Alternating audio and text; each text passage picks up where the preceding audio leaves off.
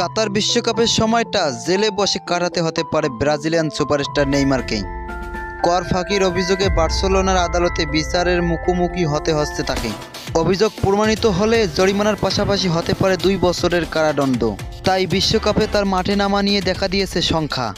Santos থেকে দুই হাজার তেরো সালে স্প্যানিশ ক্লাব বার্সেলোনায় যোগ দেন ব্রাজিলিয়ান সুপারস্টার নেইমার।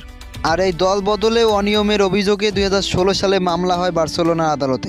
অবশেষে নেইমারকে জালিয়াতি ও দুর্নীতির অভিযোগ করেছে আদালত।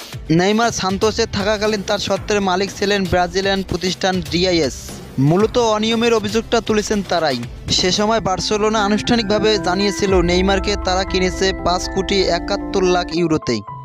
যেখানে চার কোটি ইউরো পেয়েছে নেইমারের পরিবার, আর সান্তোসের এক কোটি একাত্তর লাখ ইউরোর মধ্যে আটষট্টি লাখ ইউরো পেয়েছে ডিআইএস। তবে এই মামলার আইনজীবীরা বলছেন, নেইমারকে কিনতে বার্সা আসলে খরচ করছিল আট কোটি তেত্রিশ লাখ ইউরো। তাই ডিআইএস যেমন অর্থ কম পেয়েছে, তেমনি বিশাল অর্থের কর ফাঁকি দিয়েছে নেইমার। এই মামলার আইনজীবীরা নেইমারের আর্থিক জরিমানা সহ দুই বছরের কারাদণ্ড আবেদন করেছেন। আদালতের ঝামেলা এড়াতে দুই হাজার ষোলো সালে পঞ্চান্ন লাখ ইউরো জরিমানাও দিয়েছিল বার্সা। দুই হাজার চোদ্দ সালে দুর্নীতির দায়ে বার্সার সভাপতি পদ ছাড়েন রোসেল। তার কাছ থেকে বার্সা সভাপতির দায়িত্ব পান জোসেফ মারিয়া। তার কাছ থেকেও দুর্নীতির অভিযোগ আছে।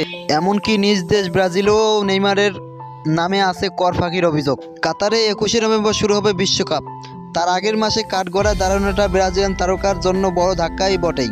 তবে শুধু নেইমার নন, সাথে তার বাবা মা বার্সেলোনা সাবেক দুই সভাপতি একই মামলায় দাঁড়াতে হবে এই কাঠগড়াতেই। আগামী সতেরোই অক্টোবর থেকে প্রায় দুই সপ্তাহ এই মামলা শুনানি চলবে বার্সেলোনা আদালতে।